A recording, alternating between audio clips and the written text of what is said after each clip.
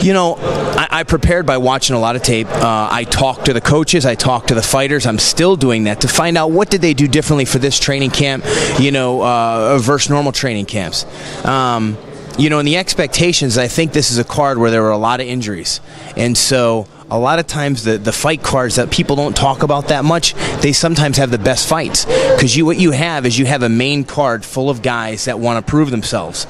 There's not a, a ton of fighters on here that have been on the main card on pay per view a bunch before, who have been in main events. These are guys who need to prove themselves. You've got Lyoto Machida coming off a fight where he's mad about what took place in his fight against Dan Henderson.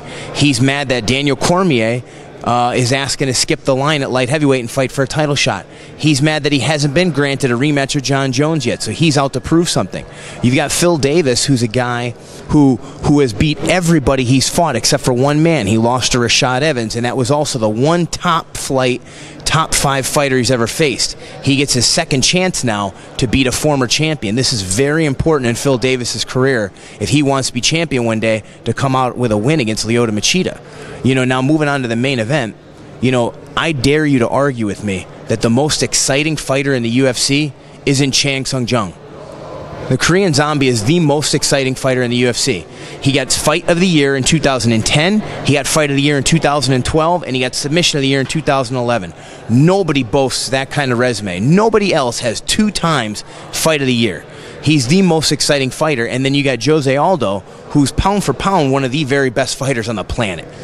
Jose Aldo may be one of the very best athletes in all of the UFC. He's done some things technically and athletically that are incredible. Uh, and, and he is not the type of guy that you want to go and stand in the pocket and trade punches with. But I think that's what the Korean Zombie is going to do, and that's going to make for a very entertaining fight.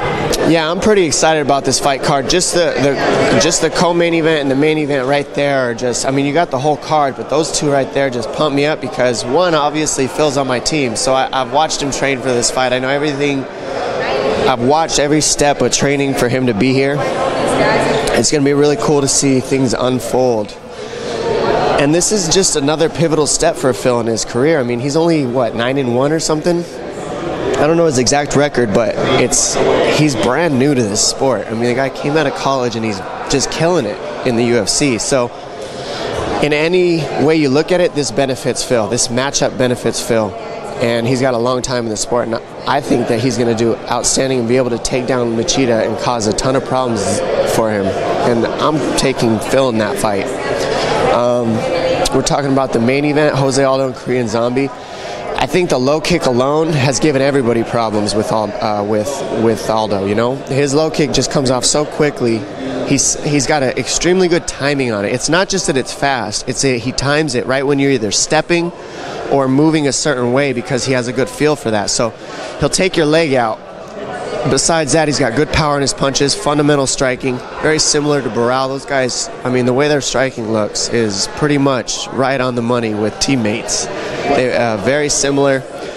So I think the fluidity of, of Aldo in the first round mixed with the power is going to cause a lot of problems for the zombie and it comes down to if he can weather that storm in the first two to three rounds to try to wear down Aldo and get, get some takedowns mixed in there, create a, a grappling grind for Aldo would be in his favor. And he could possibly win that against Aldo. But judging with all the tools that are set in front of uh, each guy, I got to take Aldo in this fight.